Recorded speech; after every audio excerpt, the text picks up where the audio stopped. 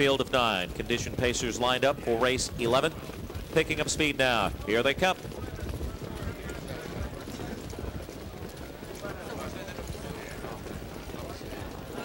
Away they go. Paintbrush from the outside and Sports Fantasy. Uncle Johnny from the inside. Paintbrush and Paintbrush.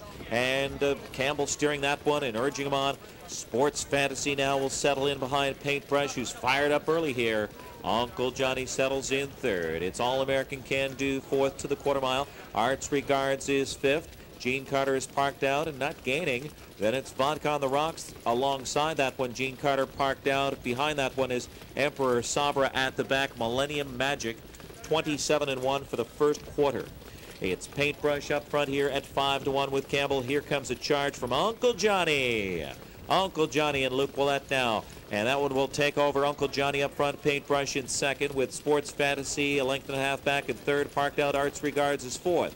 All American Can Do on the inside fifth. Gene Carter on the outside sixth. Vodka on the Rocks is seventh. Emperor Sabre eighth on the outside. Then it's Millennium Magic. And here comes Sports Fantasy with a bold move by LaChance. Sports Fantasy 56 and 1.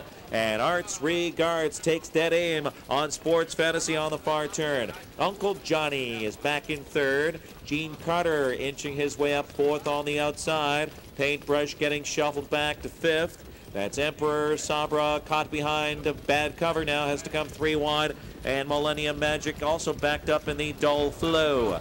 Arts Regards and Brennan now full out, trying to put away a stubborn sports fantasy, 124 and 3 in the stretch. Arts Regards now takes the lead, but is under urging. Uh, Gene Carter trying to close in up on the far outside. Here is Millennium Magic on the cones. Uncle Johnny fighting back, but it's Millennium Magic and Pierce bringing them on by. Ron Pierce with his third winner of the night, Millennium Magic over Paintbrush, who is through for second. Three-way photo for show 152 and 4. Number five, Millennium Magic. Four-year-old bay horse by Western Hanover out of Tisk Tisk by Albert Albert. Owned by the Pan Hellenic Stable Corporation, Long Island City, New York. Dennis Laterza, the winning trainer.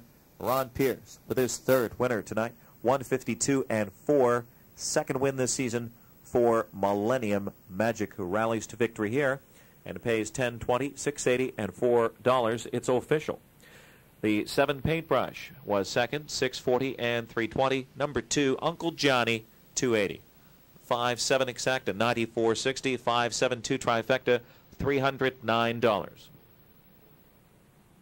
The pick three five five and five, $273.60.